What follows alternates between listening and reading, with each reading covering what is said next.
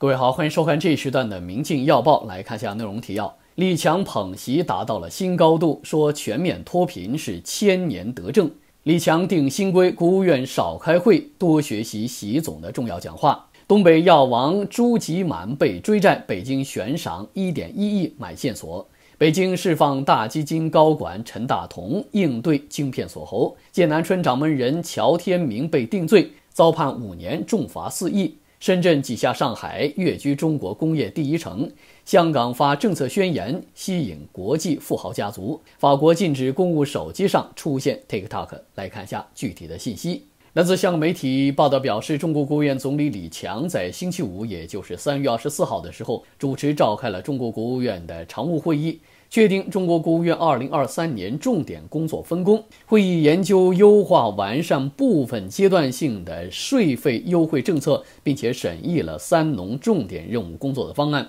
会议又通过了贯彻落实中央农村工作会议精神和中共的一号文件重点任务工作方案，并且强调说要深入的贯彻习近平在中共农村工作会议上的重要讲话精神。确保全年的粮食产量保持在一点三万亿斤以上。最后，李强强调说，脱贫攻坚取得全面胜利，是中共领导人民进行的伟大实践，是千年德政，必须把巩固拓展脱贫攻坚成果作为重大的政治任务，继续压紧压实各方责任，全面抓好政策和工作落实，牢牢守住不发生规模性返贫的底线，要强化促发展的导向。财政支持、项目安排、帮扶政策都要紧紧围绕发展来谋划和实施，要保持过渡期内主要的帮扶政策总体稳定，及早谋划过渡期后常态化的帮扶机制。好，再来看一下中国国务院定新规，少开会，多学习总书记的重要讲话。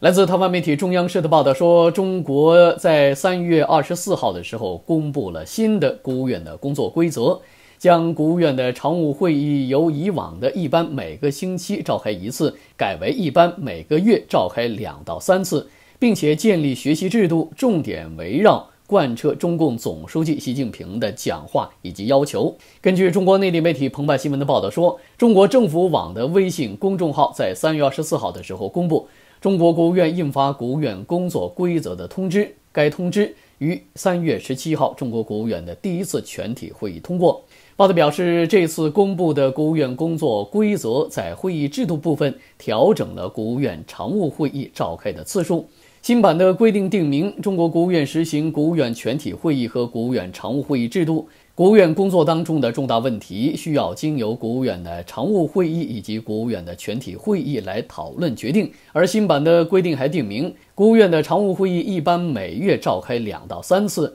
如果有需要，可以随时召开。根据会议议题，可以安排有关部门单位负责人列席会议。报道说，对比二零一八年六月份通过的国务院的工作规则，当时规定国务院常务会议一般每周召开一次，即现在常务会议恒常召开的次数减少。报道说，新的规则也定明国务院的常务会议的五项主要任务。第一就是讨论需要提请中共中央审议决定的重要事项；第二就是讨论需要提请国务院全体会议审议的重要事项；第三就是讨论法律草案审议行政法规草案；第四就是讨论通过以国务院的名义印发的重要规范性的文件；第五就是其他需要提请国务院常务会议讨论决定通报的重要事项。报道说，二零一八年版的规则只列出了国务院常务会议的三项主要任务，包括了一讨论决定国务院工作当中的重要事项；第二就是讨论法律草案、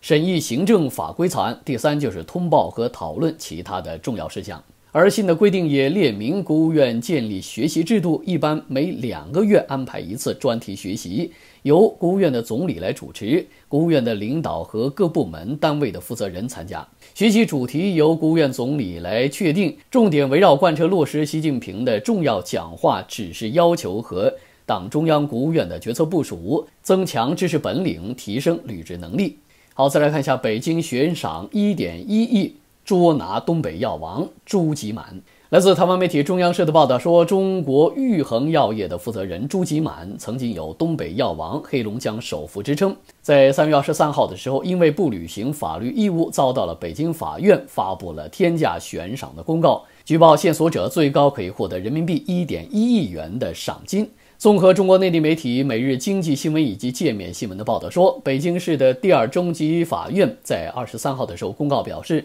在执行共青城盘辉投资管理合伙企业申请执行前东北药王、黑龙江首富朱吉满、白利会议案当中，因被执行人拒不履行生效法律文件确定的义务，依照规定发布了悬赏公告。公告表示，本案执行标的的金额为人民币约十一亿元。如果举报人提供可供执行财产线索，并且经查证属实。依照执行到位的金额的百分之十予以奖励。由于举报者最高可以奖励一点一亿元，引发了关注。根据中国经营报的信息表示，一九六四年出生于陕西的朱吉满毕业于西安医科大学。一九八八年到一九九二年在西电医院眼科服务，与白丽慧是夫妻的关系。一九九三年，朱吉满辞掉了铁饭碗，改创业做医药代理销售。二零零零年的时候，朱吉满买下了濒临破产的黑龙江康复研究所的附属药厂，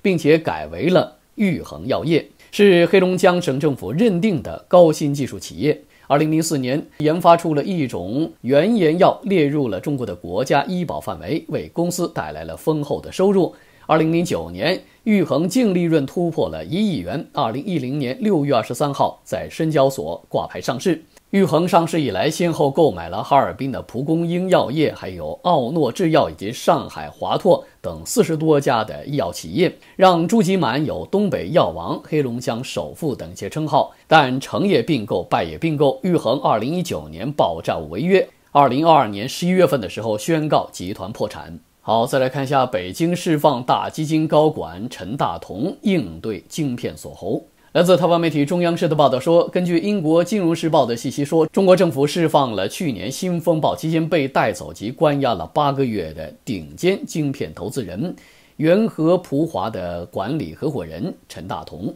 因为中国需要晶片专家来协助应对西方的严厉的制裁。金融时报在三月二十四号的时候引述了两名知情人士的话，表示，元和普华苏州投资管理有限公司的管理合伙人陈大同本月获释。报道指出，元和普华是一家人民币一百亿元的投资公司，已经为一百五十多家的中国晶片公司提供了种子资金。在中国晶片业当中处于领导的地位。报道指出，陈大同在二零二二年的七月到八月，中国掀起新风暴期间被带走。中国为了促进中国国内的集成电路产业的发展，于二零一四年由中国的财政部等出资成立国家集成电路产业投资基金股份有限公司，俗称大基金。其后传出了中国政府对投入了数百亿美元的半导体产业发展都没有能够取得突破感到愤怒，在二零二二年对大基金及相关的公司进行了调查，拘留了十多名晶片高管和官员。元和普华是获得大基金资助的公司之一，陈大同也是大基金投资委员会的独立成员。报道指出，因应美国限制中国获得有关晶片的高端技术，迫使中国这几个月以来重新的思考要支持半导体业的发展，也令中国决定尽快的释放陈大同。报道指出，陈大同将元和普华超过百分之八十的投资用于寻找和发展中国国内替代外国技术的产品。是中国受到美国收紧出口管制下打造出本土晶片产业的重要举措。报道引述了一位约六十八岁的科技私募基金的高管的话，表示：“中国充满想投资半导体的政府基金，但是缺乏像陈大同一样的专业投资者。”报道说，陈大同一九九五年共同创立了豪威科技，是一家在纽约上市的相机晶片制造商。十年之后，陈大同与中国国有企业合作，将该公司私有化。陈大同于二零一四年放弃了美国国籍，致力于协助中国晶片业的发展。报道表示，不清楚陈大同被长期关押的细节。中国当局可以在法外系统当中将人关押数月或数年，然后才移交法庭进行正式的起诉。有元和普华的员工表示，陈大同获释是好消息，但是认为他不太可能很快就会回到办公室。现在讨论他未来的半导体投资计划为时过早。陈大同也没有回应《金融时报》的查询。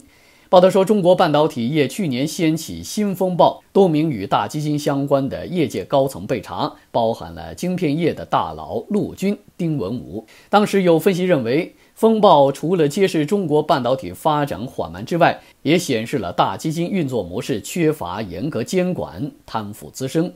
好，再来看一下剑南春的掌门人乔天明，行贿私分国产，遭判五年，重罚四亿。来自香港媒体《星岛日报》的信息表示。中国的酒厂剑南春集团的董事长乔天明涉嫌行贿私分国有资产案，星期五，也就是三月二十四号的时候，一审宣判，乔天明两罪罪成，其中行贿罪判处有期徒刑两年，私分国有资产罪判处有期徒刑四年，共和执行有期徒刑五年，罚款人民币四亿元，私分国有资产及相应的收益予以追缴，返还给四川省的绵竹市的人民政府。报道说，四川乐山市的中级人民法院在三月二十四号的下午一审公开审判。经审理查明，被告乔天明于二零零一年的一月四号，经绵竹市人民政府任命为四川剑南春集团有限责任公司的董事长。二零零三年的时候，剑南春改制。乔天明为谋取不正当的利益，在2006年到2012年期间，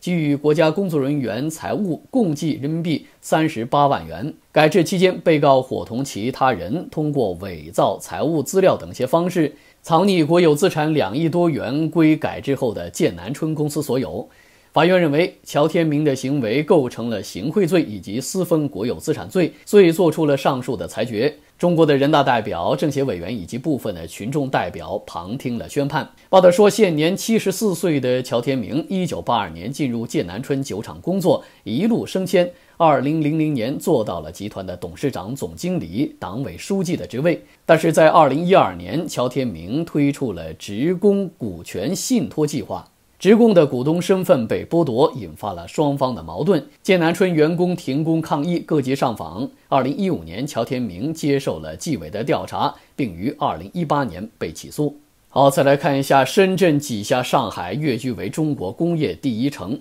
来自台湾媒体中央社的报道说，根据中国的南方财经全媒体集团公众号“南财号”在三月二十四号的时候报道说。深圳跻身中国工业第一大城，因为去年深圳的工业增加值达到了人民币一兆一千三百亿元，首次超过了上海的一兆零八百亿元。报道表示，依据中国各地陆续发布的统计的公报所披露出来的各产业的 GDP 的数据，二零二二年中国工业十强城市，其中深圳、上海、苏州。率先跻身万亿工业 GDP 俱乐部，其他依序为重庆、广州、佛山、宁波、无锡、东莞、泉州。而位居前三名的上海、深圳、苏州，向来是中国工业体量最大的城市，彼此之间的竞争一直是你追我赶。按照惯例，上海独占鳌头，深圳还有苏州是各有所长。报道表示，没有想到，因为2019新型冠状病毒疫情的原因，使得上海维持独领风骚多年的局面被改写。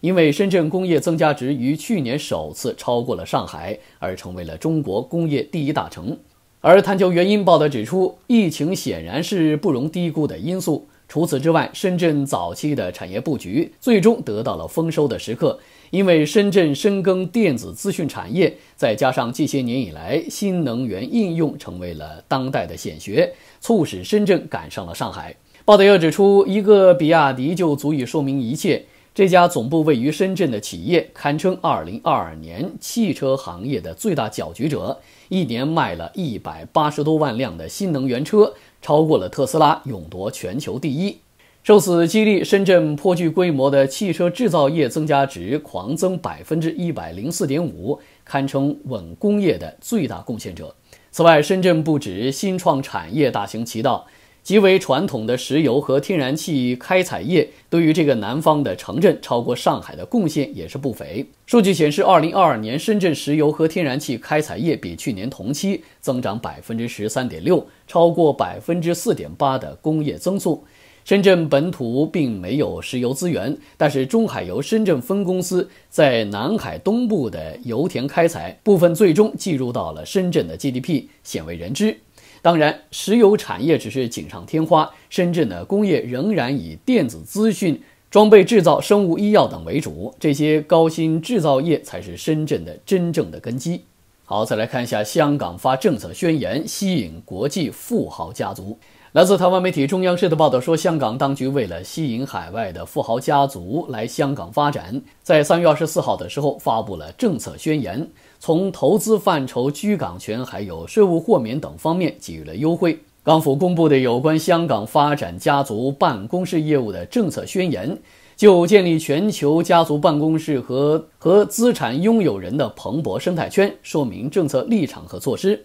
所谓家族办公室。是指的专门为富裕家族提供投资管理和财富管理的私人公司，目的是为了帮助富裕家庭实现财富的跨代增长，而家族办公室的理财资金来源为家族的自有资金。香港政府在宣言当中公布吸引家族办公室来港的措施，包括了在原有的资本投资者入境计划的基础之上，来港投资范畴涵盖在港上市的股票、由香港上市的公司、政府或者是由政府全资拥有或部分拥有的实体发行和全面保证的债券。认可机构发行的后偿债券，还有合资格的集体投资计划。报道说，除了以港币计价资产之外，港府也会考虑以人民币计价的资产。如果成功申请，申请人可以与配偶及其未婚受养子女来港居住和发展。相关的计划详情稍后会公布。